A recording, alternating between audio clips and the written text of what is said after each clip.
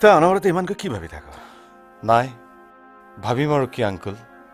অঁ আজি আঠ বজাৰ চিফ্টত এটা ৰেকৰ্ডিং আছে। তই বহিব পাৰিবি? ৰাজু অহা নাই? মই? কিন্তু মোৰ গাটো ভাল লগা নাই। ঠিক আছে ময়ে বহিম বাৰু। তুমি যোৱাগৈ যোৱা।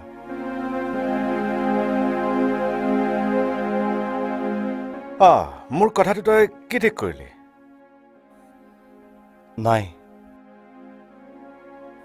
সেইবোৰ এতিয়া থাকক। কিয় থাকিব? চা তোক এজন গায়ক হিচাপে প্ৰতিষ্ঠিত কৰাটোৱেই তোৰ দেউতাৰৰ এটা ডাঙৰ এম্বিশ্যন আছিল। সেইকাৰণেতো এই ষ্টুডিঅ'টো খাইছিল। নাই আংকুল মই আজি আৰু কাৰ কাৰণে গান গাম? মোৰ গান শুনিবলৈ দেউতাই বাট নাচালে যেতিয়া। ছাৰ বাইদেউ?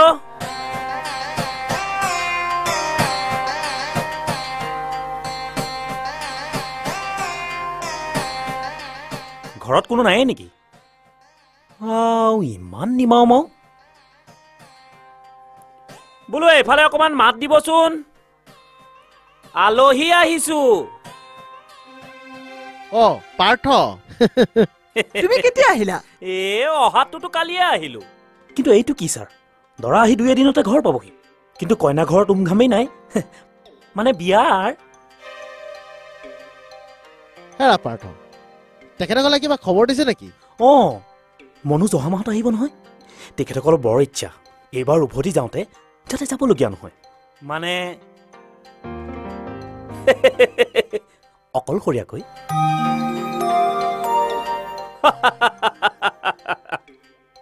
হেৰা তেতিয়াহ'লেচোন বেছি দিন নায়েই। মোৰ কথা নুশুনা নহয়। আমাৰ যে একো যোগাৰেই হোৱা নাই জানা? বাইদেৱে যে কি কয় আৰু আজিকালি আৰু মানুহে যোগাৰৰ কাৰণে চিন্তা কৰেনে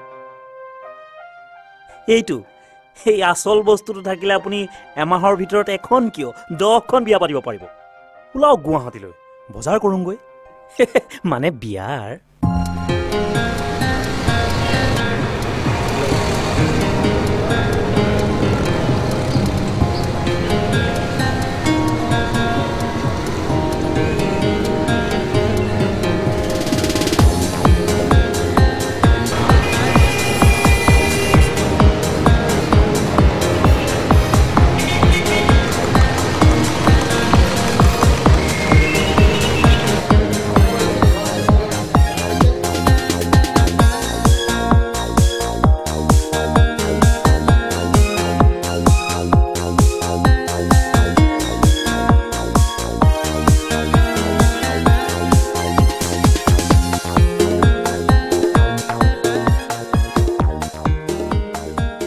মিনিট বহচোন। মই আহি আছো।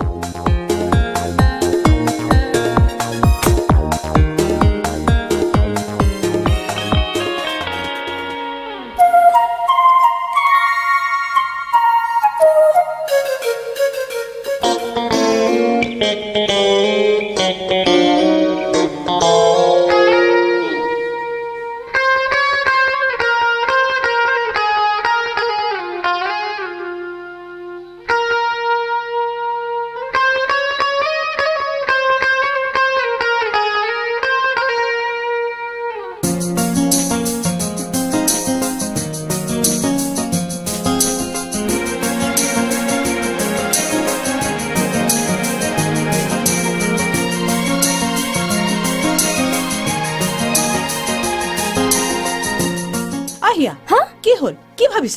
নাই আহা বহাহি।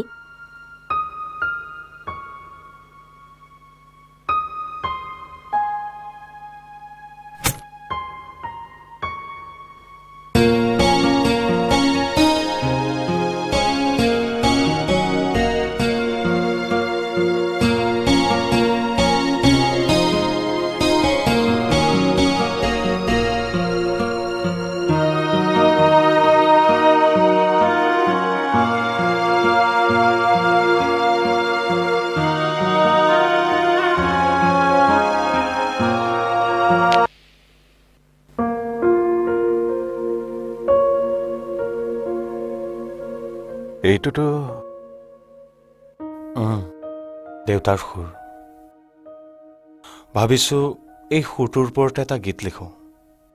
তই লিখিবি? মই লিখিছোৱেই।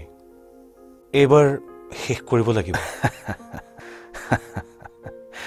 তোৰ এই এইবাৰটো কেতিয়া আহিব?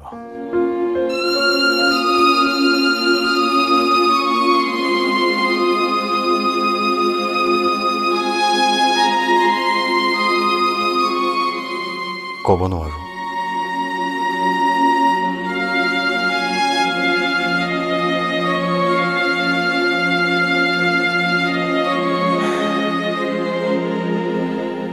হিয়া তই? পুৰা দুই বছৰৰ মূৰত। এইটোতো ৰ ৰ দুই বছৰৰ মূৰত আহিছ বোলে মই তোক খাতিৰ কৰিম বুলি ভাবিছ নেকি? আৰু শুনিছো তোৰ বোলে বিয়া?